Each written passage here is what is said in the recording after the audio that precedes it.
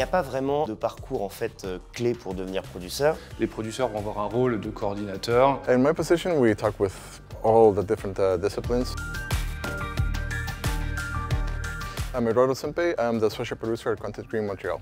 Je m'appelle Stéphane Prigent et je suis senior producteur dans l'équipe publishing de Quantic Dream. Moi, je m'appelle Alexandre Hénon et je suis producteur en charge du département Game Creation chez Quantic Dream. Uh, we handle a lot of uh, planning, scheduling, and uh, helping the teams achieve their uh, objectives.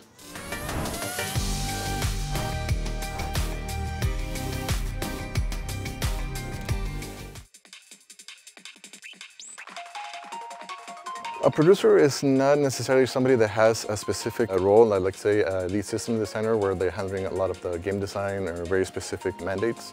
A producer is just more doing oversight between the different teams and making sure that they're coordinating well and are meeting uh, those objectives. On va gérer les plannings, mais on va également gérer les petits soucis qu'on peut rencontrer au quotidien. Et enfin, ça va être surtout faire en sorte que les gens se parlent.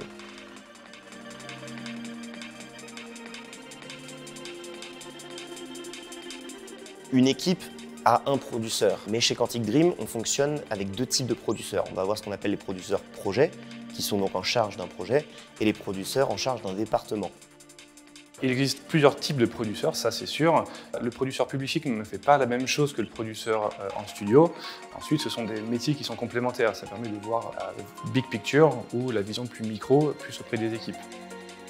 Un producteur publishing pourrait tout à fait travailler euh, en production et inversement.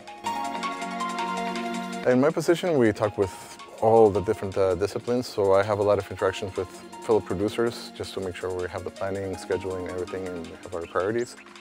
Then I'm talking with uh, level designers a lot, programmers, QA, mocap specialists. Yeah, so I talk to pretty much uh, everybody in the, the studio. En tant qu'interface euh, privilégiée de la game creation, les gens, quand ils cherchent à communiquer avec mon service, c'est moi qui vont venir voir. Mais en règle générale, je vais aussi parler en fait à toutes les équipes, Euh, que ce soit des gens à qui j'ai des questions, que des gens avec lesquels euh, on veut faire des réunions ensemble. Donc, j'ai pas d'interlocuteur privilégié, je parle avec en fait tout le monde. En tant que producteur au publishing, ma première intervention sur les jeux, c'est quand euh, les studios externes vont venir nous pitcher leur projet et nous expliquer ce qu'est leur jeu. Euh, je vais avoir mon œil de producing pour essayer de comprendre euh, comment est structurée l'équipe, comment est-ce qu'ils structurent leur production, comment est-ce qu'ils vont s'y prendre pour organiser leurs équipes, pour les aider à créer simplement le meilleur jeu possible.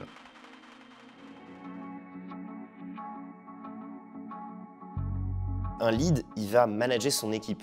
Moi, je vais manager le temps des gens. Je ne suis pas chef d'équipe, je suis, on pourrait dire, responsable. En fait, s'il y a un problème, c'est moi qu'on va venir voir. Mais les équipes, elles sont sous la direction du lead. Chez Quantic Dream, clairement, c'est la direction créative qui lead. Les producteurs vont avoir un rôle de coordinateur, de euh, mettre de l'huile dans les rouages pour s'assurer que les productions euh, passent bien et que tout le monde sache quoi faire à quel moment et pour optimiser la production.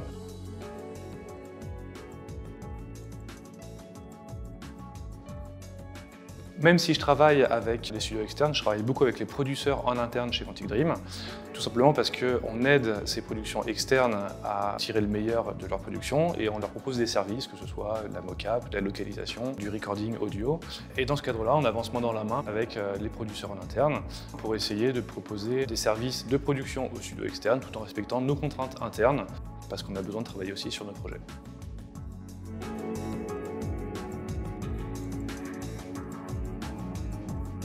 Can be quite the challenge with the, the time zone change. So we have a very short window where we can have all our meetings. But the team here has been able to set some time uh, apart in the, afternoon here. While in Montreal, we're setting up uh, our mornings to have meetings, discussions, making sure that we're aligning with stuff.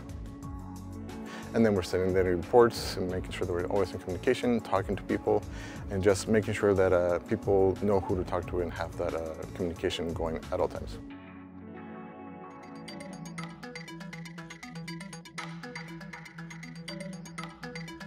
Alors, il n'y a pas vraiment euh, de parcours en fait euh, clé pour devenir producteur. En fait, il faut avoir des qualités, avoir un bon sens de l'organisation et surtout ne pas avoir peur d'aller vers les gens. Pour ma part, j'ai eu un parcours assez atypique vu que je me suis d'abord orienté vers des études d'art, toujours orienté dans le jeu vidéo bien entendu, mais c'est à la fin de cette licence donc en art que je me suis orienté vers le management de projet. Et euh, c'est en découvrant donc ça lors de mon master que j'ai été passionné par ce que c'était que la gestion de projet et c'est pour ça que je me suis lancé dans ce métier.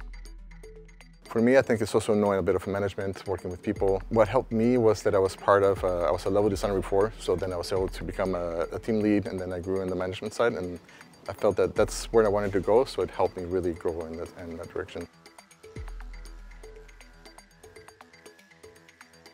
Absolument pas. J'aimerais bien, mais malheureusement non.